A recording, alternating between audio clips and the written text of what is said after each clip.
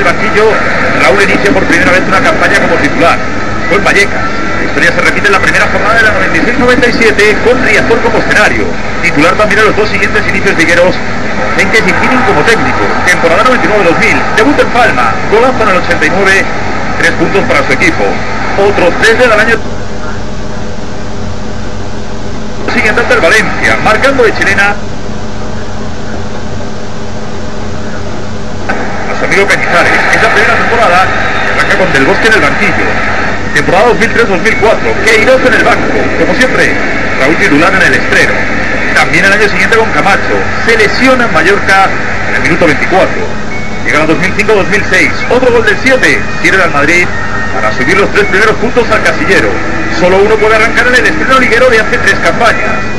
Verano de 2007, derby madrileño para abrir boca. Capi y otros tres puntos para el Madrid. Nuevo capítulo de una eterna maldición blanca, Riazor. Madrid Challenge el Depor. Raúl, por supuesto, titular. 14 temporadas, 14 estrenos ligueros con aquello de... Y arriba con el 7, Raúl.